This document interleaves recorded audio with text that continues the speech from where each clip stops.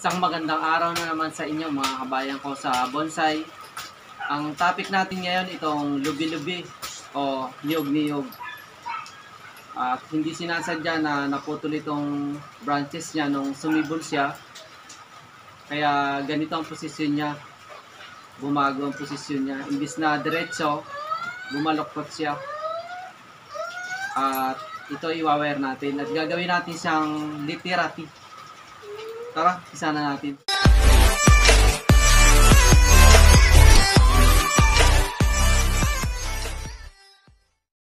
Ito na po yung ating niyog-niyugan na may scientific name na Ficus sodopalma blanco. At sa Bisaya naman po ay tinatawag to na lubi-lubi. Na ang ibig sabihin din po ay niyog-niyugan. Ang uunahin po nating gawin ngayon ay iwawire natin itong branches niya. Ayan. Ayan. At ito pong niyog-niyogan na to ay nakuha natin sa hunt nung tayo ay nagtungo sa bundok. At kahit siya maliit ay natuwa tayo na kunin siya. Dahil kakaiba tong puno na to. Hindi to karaniwan. Dahil ito ay nabubuhay lang sa wild at ito ay hindi karaniwang tinatanim sa mga bakuran kaya kinuha natin ayan na tapos na nating i-wire. Ngayon naman po ay ating i-bend siya. Ayan. Bibin natin ang pababa.